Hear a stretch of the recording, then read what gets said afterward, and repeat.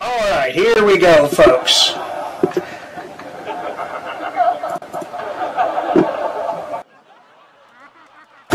right, everybody, welcome to Social Sands Comedy Club. My name is One Mad Republic. I am the janitor on this island.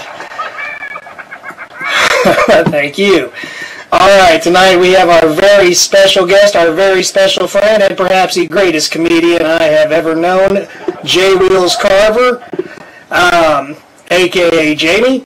Uh, I would like to go ahead and, uh, oh my goodness, look at the people come pouring in. All right, hi everybody. Man, you sure do draw a crowd. We might need some more chairs, boss. They don't work anyway. Okay, all right, everybody, please refrain from the uh, particle effects. Thank you very, very much.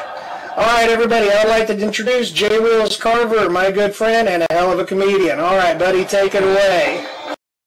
All right, thank you so much, sir. I am so glad to be here tonight.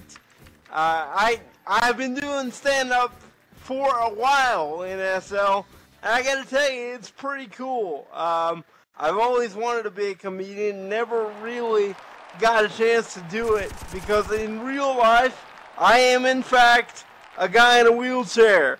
And I gotta tell you, the question I hear most often is, dude, can you walk? And after about 29 years, I've gotten to the point where I just start messing with people. I'm like, yeah, one day about 10 years ago, I was walking along and I saw this chair and it looked really comfortable, and so I sat down in it, and lo and behold, it was. So I just took it. I haven't got out of it since.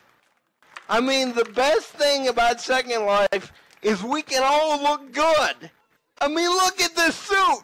I look like a pimp. I look like James Bond. I don't look like this in real life. I'm a guy in a wheelchair. I don't even look close to this in real life.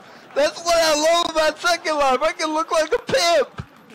Who sees a HUD that would give you a nosebleed and goes, I need that?